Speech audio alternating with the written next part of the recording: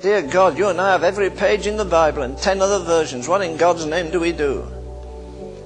I like the way our dear Paul, is leaving Monday.